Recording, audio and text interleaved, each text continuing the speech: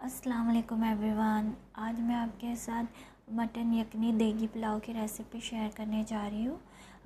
इसकी रेसिपी मैंने पहले भी शेयर की थी। ये उससे थोड़ी सी डिफरेंट है। तो चलिए रेसिपी स्टार्ट कर लेते हैं। इसके लिए मैंने यहाँ पर एक कुकर लिया हुआ है। इसमें हम हाफ़ के जी मटन ऐड कर देंगे।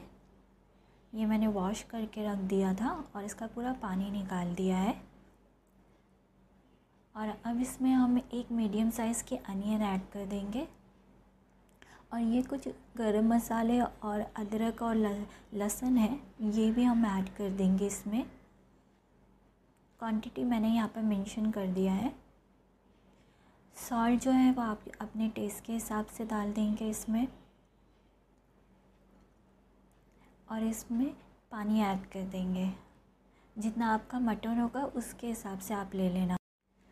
और इसे आपको अच्छे से कुक कर लेना है। जब तक मटन अच्छे से सॉफ़्ट ना हो जाए और इसकी यखनी और मटन को अलग अलग कर देना है।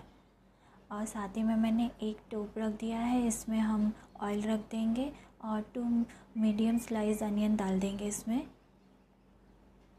और इसे हमें ब्राउन होने तक फ्राई कर लेना है। अच्छे से इसमें एक ब्राउन कलर आ जाए। आपको लेकिन इसे जलाना नहीं है। वरना पुलाव का टेस्ट ख़राब हो जाएगा। तो इसमें अभी एक कलर आ गया है जो हमें चाहिए था। तो अभी इसमें से हम हाफ़ क्वांटिटी निकाल देंगे अनियन को और हाफ़ इसी में रख देंगे। और इसमें मैंने थोड़ा सा पानी ऐड कर दिया है ताकि हमारा पुलाव का कलर भी ख़राब ना हो और अनियन जले भी ना। इसमें अदरक लहसुन का पेस्ट ऐड कर देंगे हम और इसे भी अच्छे से अच्छी तरह से मिक्स कर देंगे। अदरक, लहसुन और अनियन को अच्छी तरह से मिक्स करने के बाद इसमें कुछ गरम मसाले ऐड कर देंगे और इन्हें भी मिक्स कर देंगे।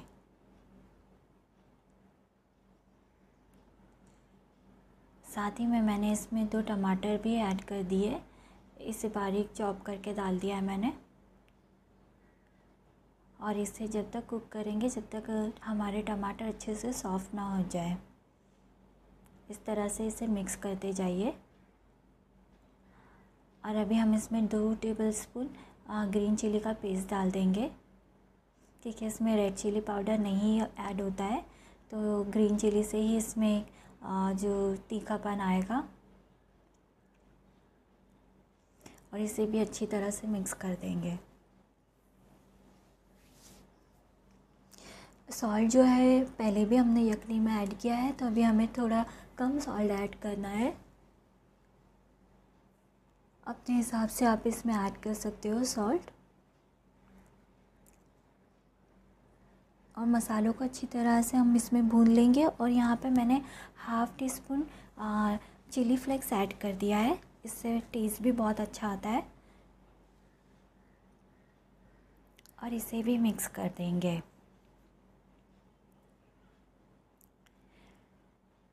ये हमारे मसाले अच्छे से भून चुके हैं। अब इसमें हम थोड़ा सा दही डाल देंगे।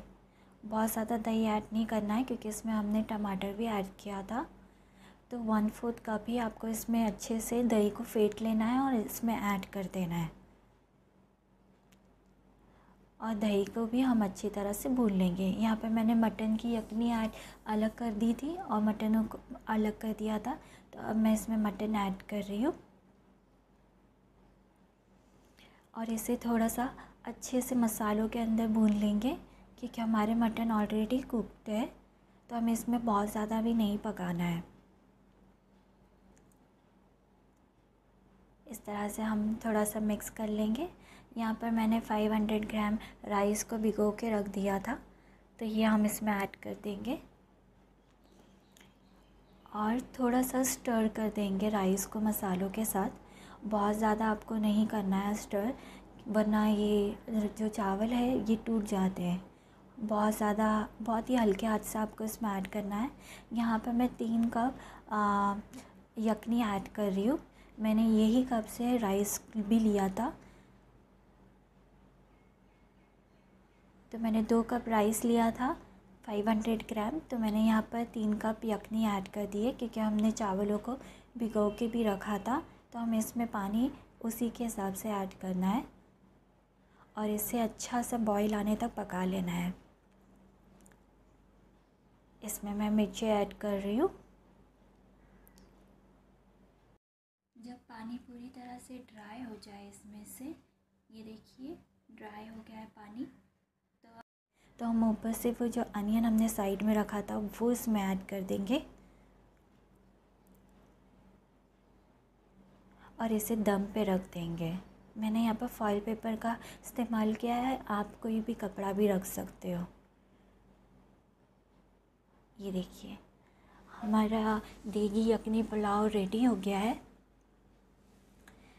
फ्रेंड्स मेरी आपसे एक रिक्वेस्ट है। अगर आप आ, मेरे चैनल पे फ़र्स्ट टाइम आए हो तो प्लीज़ चैनल को सब्सक्राइब करना ना भूलिएगा। और साथ ही में लाइक शेयर एंड कमेंट भी करना। ये देखिए, हमारा पुलाव भी रेडी हो गया है और हमारा मटन भी अच्छे से कुकड है। ये मैं आपको इसे तोड़ के बता देती हूँ। ये देखिए। और पुलाव में से बहुत अच्छी खुशबू भी आ रही है। तो उम्मीद करती हूँ आपको ये रेसिपी पसंद आई होगी। अगर रेसिपी पसंद आई है तो प्लीज़ वीडियो को लाइक एंड शेयर करना और मेरे चैनल को सब्सक्राइब करना ना भूलिएगा। अल्लाह